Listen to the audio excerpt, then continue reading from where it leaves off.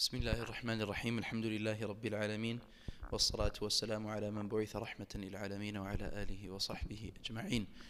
اللهم علمنا ما ينفعنا وانفعنا بما علمتنا وزدنا علما. اللهم إنا نعوذ بك من علم لا ينفع ومن قلب لا يخشع ومن عين لا تدمع ومن نفس لا تشبع. اللهم لا سهل إلا ما جعلته سهلا وأنت تجعل الحزن إذا شئت سهلا. أما بعد we begin by thanking and praising Allah subhanahu wa ta'ala. we beseech him to shower his beloved messenger Muhammad wasallam with compliments and salutations. We ask Allah to teach us that which benefits us and to allow us to benefit from what he has taught us.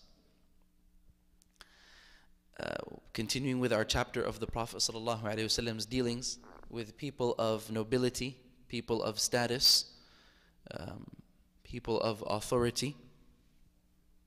We mentioned last week the lengthy narration um, of the companion Dimam ibn Tha'laba who came from his people and uh, how the Prophet ﷺ dealt with him and how he returned back to his people as a messenger, as a da'iyah. Uh, continuing on, the Prophet ﷺ in this next section is described as كان يعتذر لهم ويتحمل منهم ما يصر عنهم بل دعا إلى التجاوز عن أخطائهم The Prophet ﷺ, we've seen in the past few sections many examples of him honoring, uh, hosting, welcoming, etc. But the Prophet ﷺ even took it a step further, which is by overlooking some of their faults. So it's one thing to be nice to somebody, but then maybe if they do something that bothers you, then you get upset with them. So it's another level of kindness and mercy uh, and good behavior that when someone does something wrong, part of your kindness towards them is to overlook that shortcoming and be able to uh, move past it and not bring too much attention to it. فحث النبي صلى الله عليه وسلم على التجاوز عمن وقع في هفوة من ذوي الهيئات من المسلمين لأنه كما قيل لكل جواد كبوة ولكل عالم هفوة ولكل صارم كما قال الشاعر ومن ذا الذي ترضى سجاياه كلها كفى المرء نبلا أن تعد معايبه the Prophet ﷺ encouraged us to overlook some of these faults. And there is a proverb in Arabic that says, Every stallion trips. Every stallion will trip once, will have a stumble. Uh, and every expert, every expert or scholar in their field will have a mistake, will have a, misjudgment here or there. Al-Kamal lillah. Perfection and completion belongs to Allah subhanahu wa ta'ala alone. Everything in the creation has some level of imperfection. Why? Because they are less than the creator. The Prophet sallallahu alayhi wasallam said in a hadith, عن عائشة رضي الله عنها قالت قال رسول الله صلى الله عليه وسلم أقيل ذوي الهيئات عثراتهم إلا الحدود رواه Abu Dawood. The Prophet ﷺ said in a hadith that Aisha narrates to us, which is recorded in the book of Abu Dawood, and the scholars said it is authentic. The Prophet said, Aqilu. Aqilu is a verb in Arabic which means to overlook, to cover. Ay u'fu. Forgive and conceal. Dhawil hay'at, meaning people of uh, position, people of status, people of authority. Atharatihim, their zallat, their slips, their mistakes. What kinds of mistakes are we talking about? We're talking about minor mistakes. How do we know? Because the Prophet said, إِلَّا الْحُدُودِ Except mistakes that necessitate some type of official punishment. So it's not like somebody commits a major crime and then we say, oh, just overlook the mistake. No. A crime has to be held the, a criminal must be held accountable for their crime if in fact they are the perpetrator. But we're talking about mistakes. We're talking about s- smaller mistakes that don't have uh, uh, you know that big of, of an impact or or not harming anyone. أقيل ذوي الهيئات عثراتهم قال ابن القيم الظاهر أنه آه، ذو الأقدار بين الناس من الجاه والشرف والسؤدد فإن الله تعالى خصهم بنوع تكريم وتفضيل فمن كان منهم مستورا مشهورا بالخير فلا نسارع إلى تأنيبه وعقوبته آه، بل تقال عثرته ما لم يكن حدا من حدود الله um, Ibn al-Qayyim comments on this and he says what is apparent of the meaning the Prophet ﷺ is referring to people of status, people of nobility, people that their reputation is one of goodness amongst the believers, amongst the Muslim community. So when they do commit a uh, minor mistake, then we overlook that and we don't hasten to uh, punish them, we don't hasten to expose them. Except for hudud, except for mistakes that necessitate some type of punishment. A mistake that is a violation of some law. And what's re- uh, referred to here is the laws of Sharia, if we are in a situation where the laws of Sharia are being applied. And the ulama say that extends to any laws that a person is bound by. Any laws that a person is bound by, or any rules, they could be in any type of organization or any type of uh, community where people agree upon a certain set of laws or rules, then they are binding. And that is part of the, uh, that is part of the Sharia. عن أبي هريرة رضي الله عنه let's look at some examples of this uh, عن أبي هريرة رضي الله عنه أن سعد بن عبادة قال يا رسول الله أرأيت الرجل يجد مع امرأته رجلا أيقتله Uh, Abu Huraira narrates that the companion Sa'd ibn Ubadah, you know, the companions are sitting with the Prophet ﷺ, they're having a conversation. They're just thinking of something that comes on their mind, a hypothetical scenario. So they ask the Prophet ﷺ. So this companion, Sa'd ibn Ubadah, he was baffled by something. He said, O Messenger of Allah, imagine if a man were to come and find with his spouse another man. Would he, should he rush and kill that other man? There's something he's thinking about. The Prophet sallallahu alaihi wasallam, فقال رسول الله صلى الله عليه وسلم, لا. The Prophet sallallahu alaihi wasallam said, no, you shouldn't kill him. I mean, that's a very serious situation, but you shouldn't kill him. There are other ways of holding this person to account. قال سعد بلى والذي أكرمك بالحق So Sa'id responded and he said, No, most definitely I would. And he took an oath. He said, Most definitely, and I swear by the one who has honored you with the truth. If that was me, I'd kill him. And this is Sa'id. He had so much, as we say in Arabic, ghira, or chivalry. Um, can't, he can't fathom himself being in that hypothetical scenario. May Allah protect us. Being in that scenario and not going to jump and kill this person. فقال رسول الله صلى الله عليه وسلم اسمعوا إلى ما يقول سيدكم The Prophet صلى الله عليه وسلم didn't rebuke him. He said to the other companions that were sitting there from the Ansar, he said, listen to what your, the noble one amongst you is saying. Sa'id ibn Ubadah was Sayyidu al-Ansar. He was one of the chieftains of the community of the Ansar.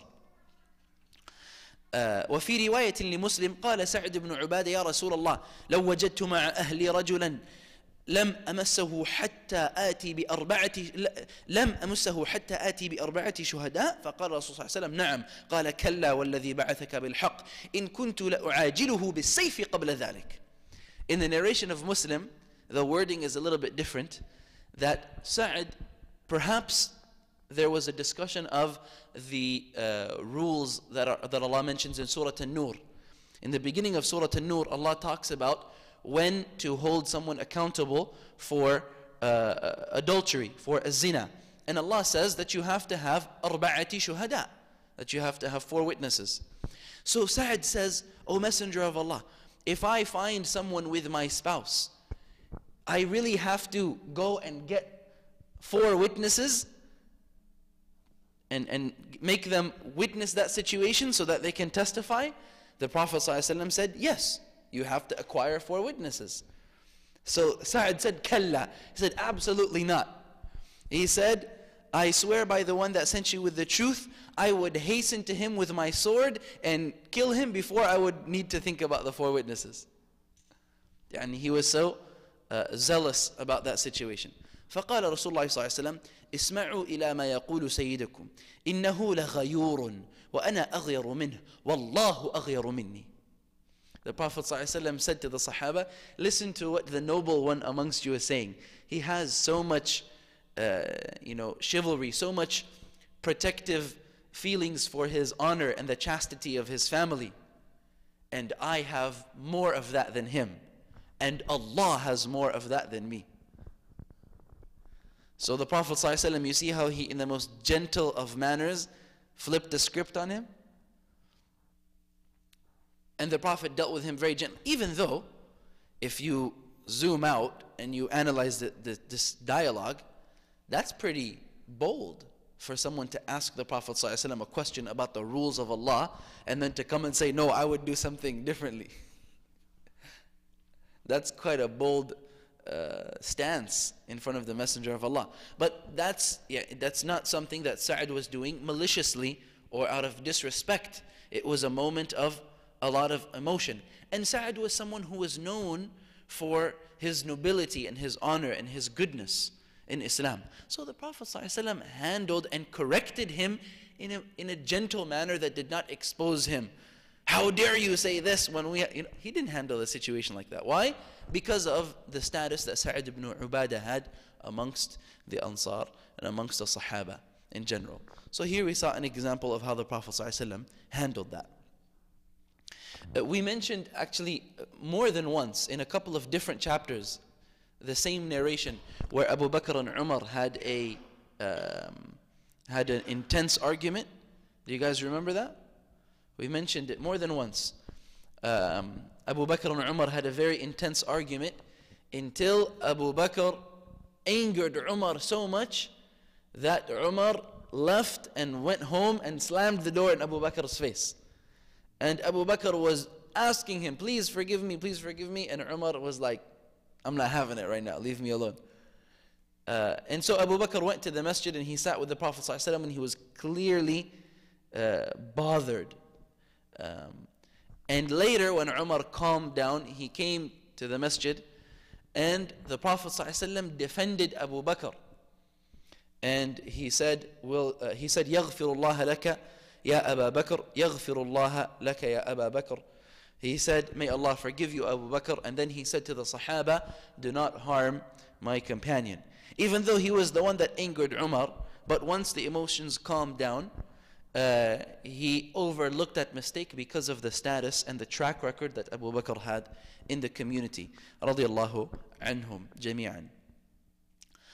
Um, وكان يكرمهم ويأمر أصحابه بذلك. And he would also do ikram. He would honor them when they would come to his presence.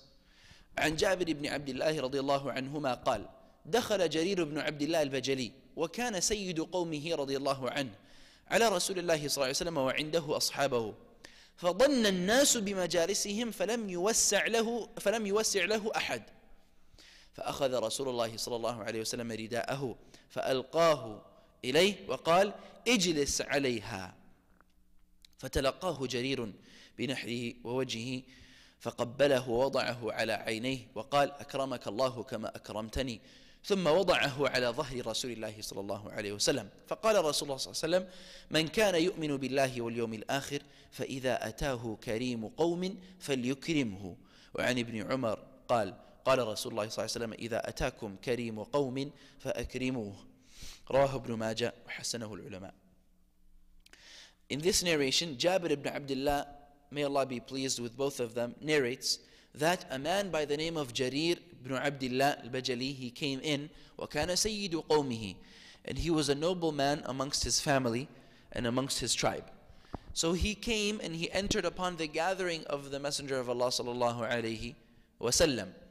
And the people, perhaps they did not know him, or perhaps they didn't recognize him, or perhaps for some reason or another, they were not very excited to see him come and join the gathering. So people basically crowded together and no one made space for him to sit.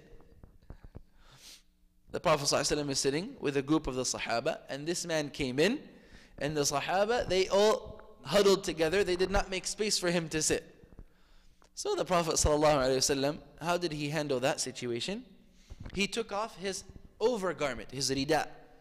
It's like a, a shawl or um, like a coat or something like that. He took it off and he passed it to this man and he said, Ijlis alayha. He said, put it down on the ground and sit on it. Which shows so much respect and, and honoring. It's like someone takes off their own clothing and puts it on the, on the ground as a mat.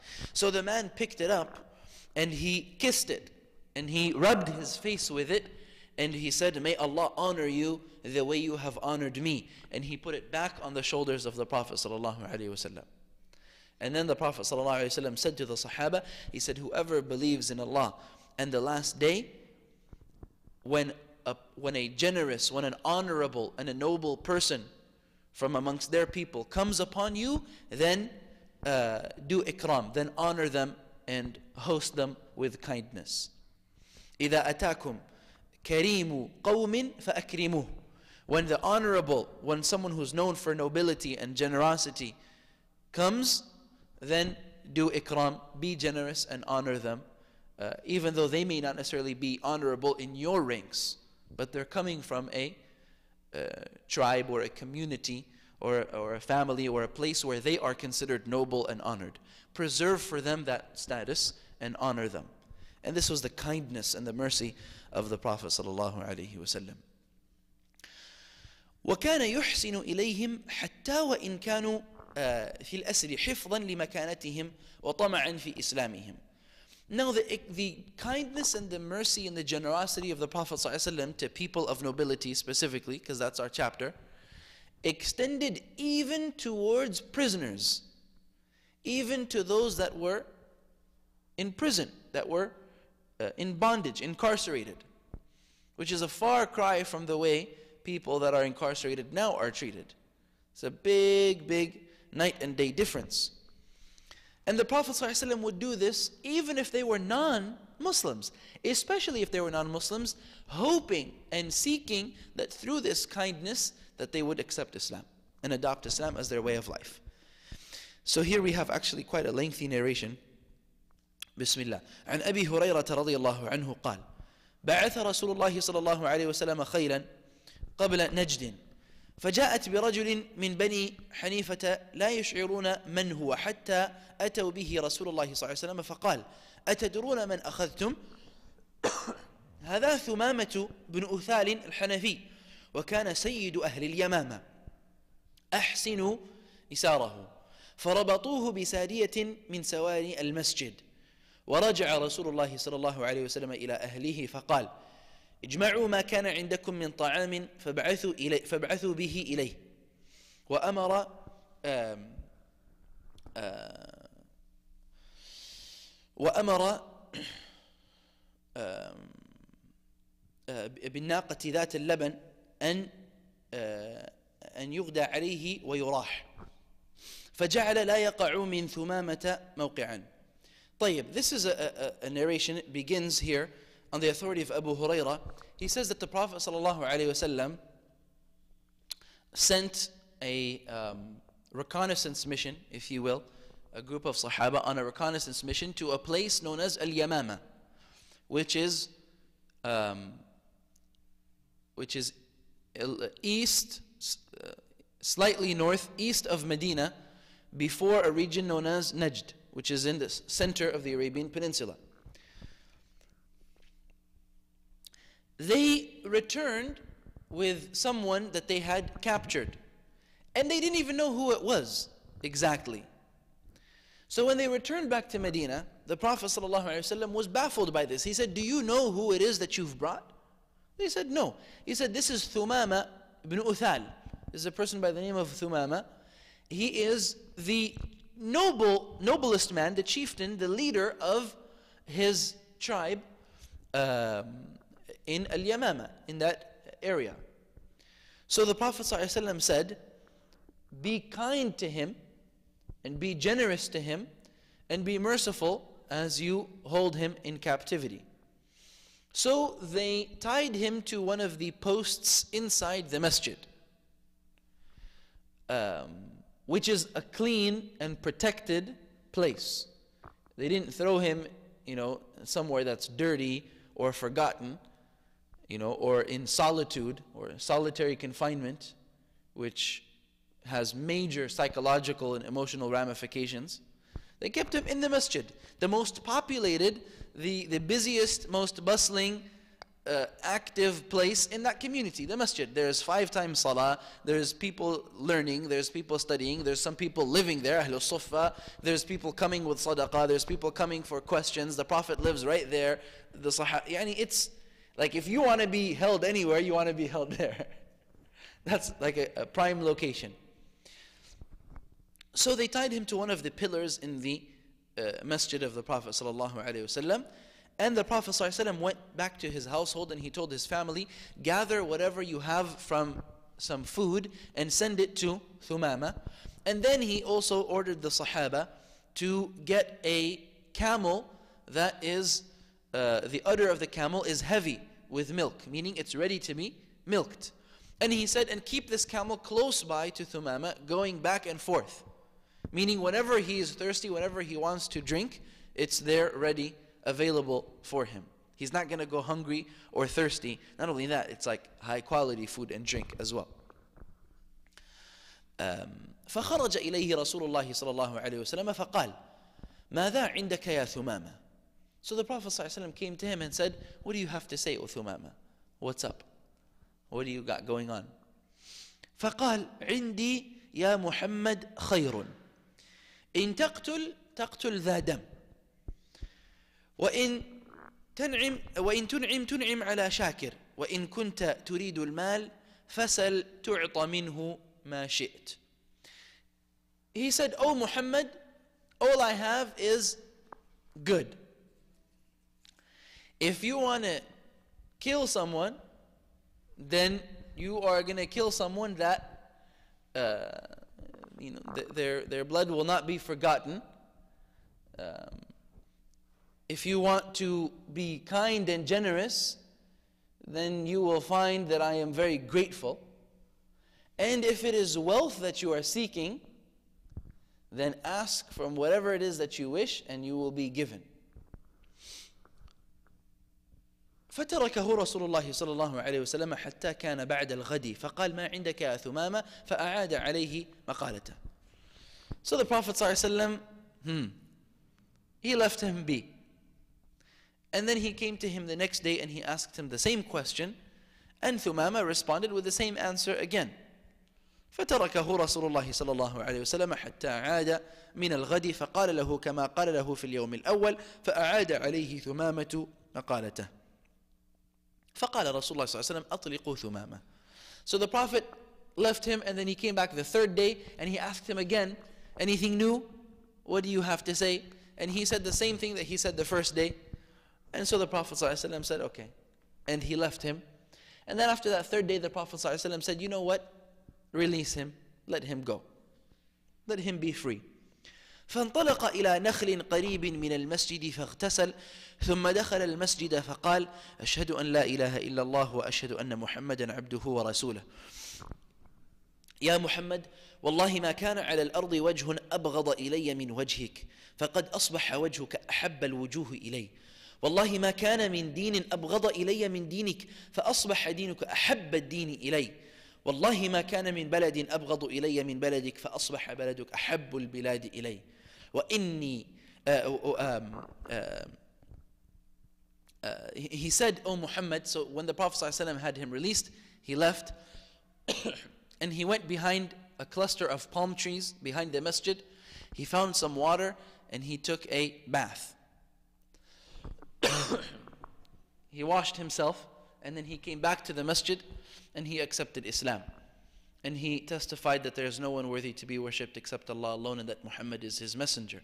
And he said, Oh Muhammad, I swear by Allah, there was no face on this earth that was more hated, despised to me than your face, and now your face is the most beloved of faces to me.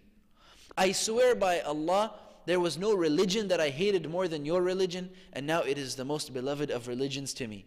I swear by Allah, there was no there was no land or civilization or community that was more hated to me than yours when I used to hear about it, and now it is the most beloved to me. Um, he said, um, he said, he, then he asked the Prophet ﷺ to take him with him. Where? He said, وَأَنَا أُرِيدُ الْعُمْرَةِ فَمَاذَا تَرَى He said, I want to go make umrah. I want to go make the minor pilgrimage. So what do you think? فبشره رسول الله صلى الله عليه وسلم وأمره أن يعتمر فلما قدم مكة قال له قائل صبوت قال لا ولكن أسلمت مع محمد رسول الله صلى الله عليه وسلم ولا والله لا يأتيكم من اليمامة حبة حنطة حتى يأذن فيها النبي صلى الله عليه وسلم So the Prophet ﷺ said, you know, this is awesome. Go ahead. Go make Umrah. So he went to go make Umrah and he went to Mecca. And Mecca was still uh, dominated by the mushrikeen, by the pagan civilization. And they recognized him. They recognized him that this is so and so from Al Yamama, from that nearby community. So when they came to him, the word spread that he was around, they came to him and they said, Sabot.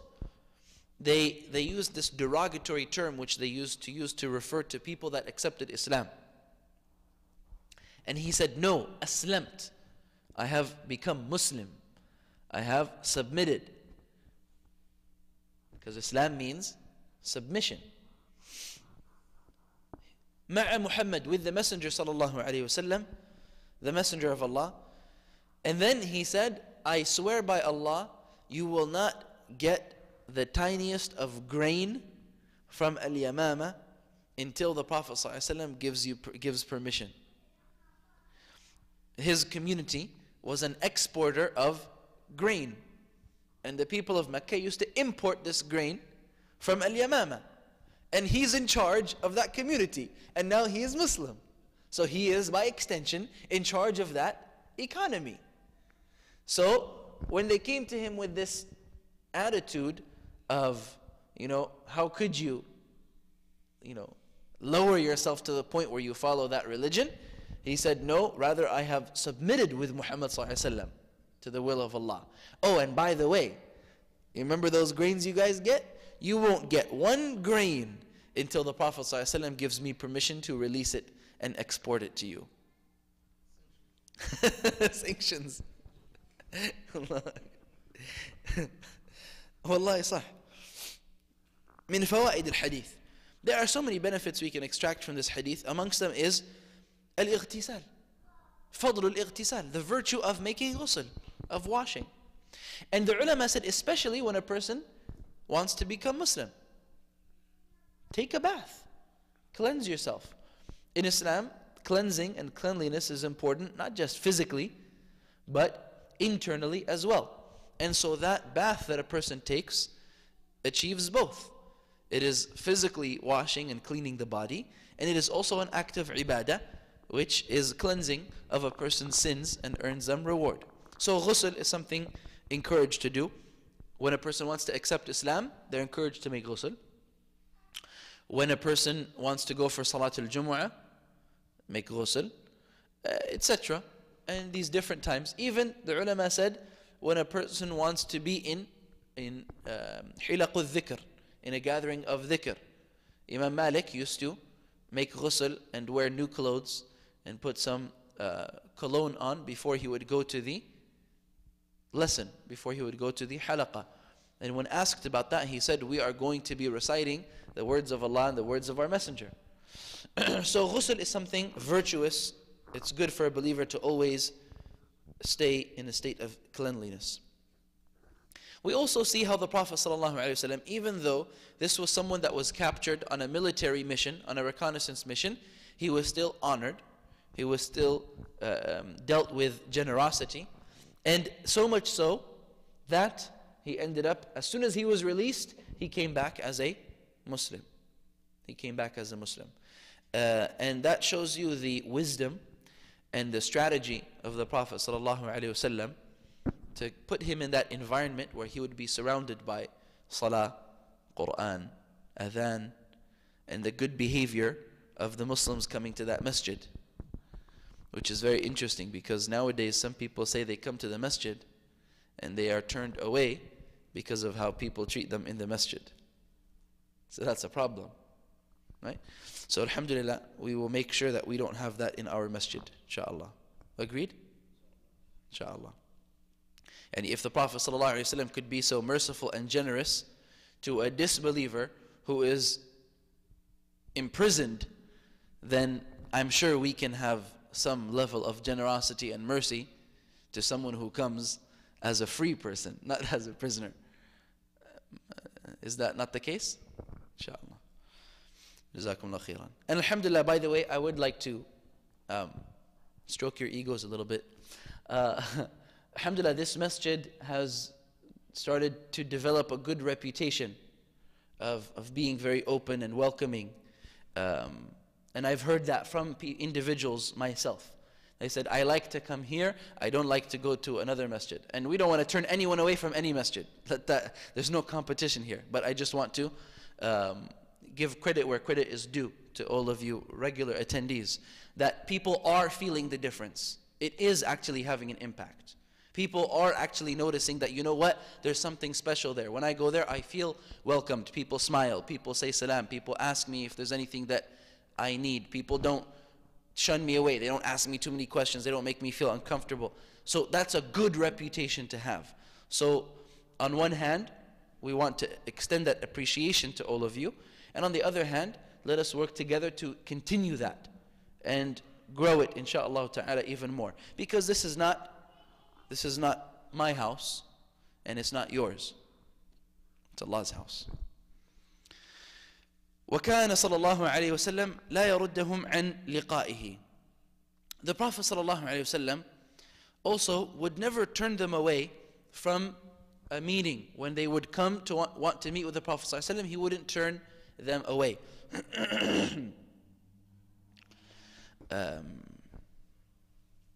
عن جرير رضي الله عنه قال ما حجبني النبي صلى الله عليه وسلم منذ أسلمت ولا رآني إلا تبسم في وجهي ولقد شكوت إليه أني لا أثبت على الخيل فضرب بيده على صدري وقال اللهم ثبته واجعله هاديا مهديا This is recorded in Bukhari and Muslim. Jarir radiallahu anhu, uh, and we mentioned his name before, uh, that he was Sayyidu Qawmihi, that he was a person of nobility amongst his tribe.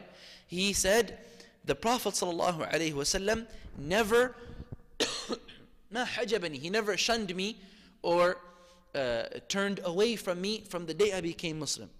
He always gave me his attention and made himself available for me. Uh, he said, and he never saw me except that he smiled to me in my face. And he said, one day I complained to him. And I said, O Messenger of Allah, I can't keep my balance on my horse. He had a problem keeping his balance. He would always fall off of his animal. Uh, so the Prophet ﷺ, uh, gave him a warm pat on his chest. ضرب بيده على صدري the Prophet ﷺ, which is a very gentle, very fatherly gesture.